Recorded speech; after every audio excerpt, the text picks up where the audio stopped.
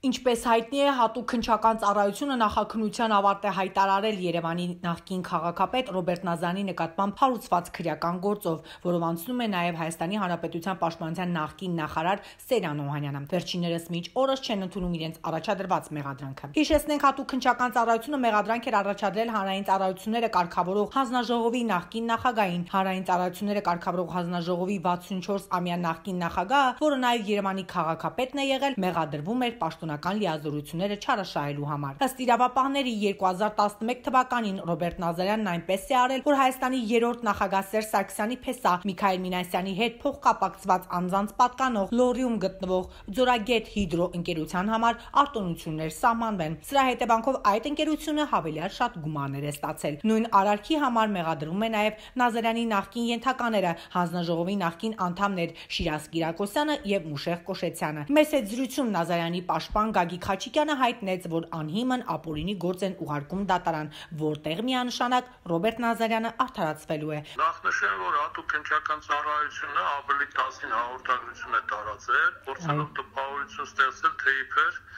Երևան քաղաքի նախկին քաղաքապետ, հանրային ծառայությունները կարգավորող հանձնաժողովի նախկին նախագահ Ռոբերտ Նազարյանը ինչ որ առնչություն ունի երևակայական չարաշահումների կատարմանը։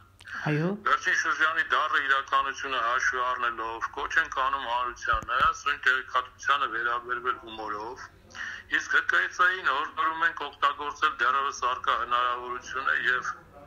առարկազույր քրեական գործը չհասցնել դատարան, այլապես ունենալու ենք հերթական արդարացումը։ Այսքանն է կուզեի։ Հիմա նախաքննության ավարտ է հայտարարվել, այսինքն պարոն Խաչիկյան։ Նախաքննության ավարտ է հայտարարվել մեզ։ Բնականաբար Դուք ծանոթանում եք գործի նյութերին այս փուլում։ Ծանոթանում ենք, կունենանք միջնորդություն։ Այո։ Համոզված եմ, որ